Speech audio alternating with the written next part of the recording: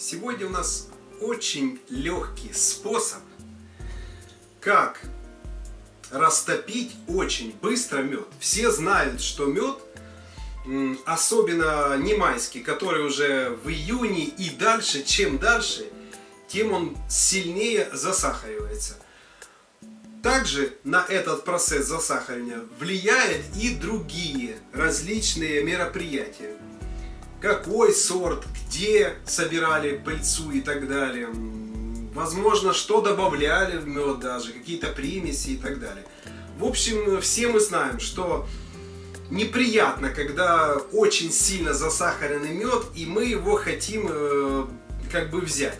Если, в принципе, он вот таких вот э, посуде, вот такой посуде находится, в пластмассах, то можно как бы и не опасаться, и ложкой его можно хорошо э, пытаться зачерпнуть, вот этот засахаренный мед.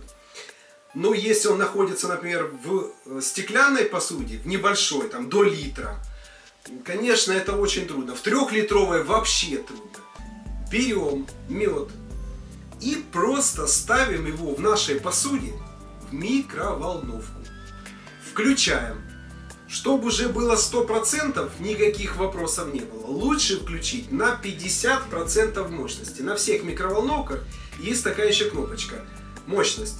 И лучше сделать 50%, чтобы он не спеша не спеша начал плавиться. Потому что если вы, у вас мощная микроволновка, как у меня, например, большая с конвекцией, она очень хорошо сразу как бы жарит. Поэтому на мед это может произвести не очень приятное, так сказать, впечатление.